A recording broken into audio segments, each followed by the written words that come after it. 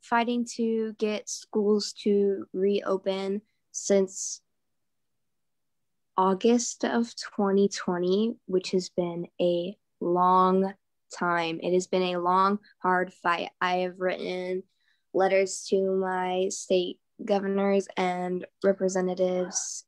I have um, gone to rallies, hosted rallies. I speak quite a lot.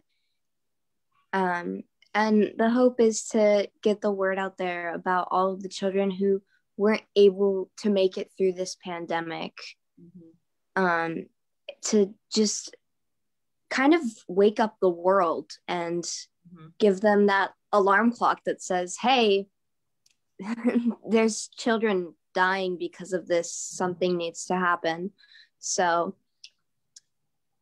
until we get back five full days, I think we just have to keep fighting hard. Right.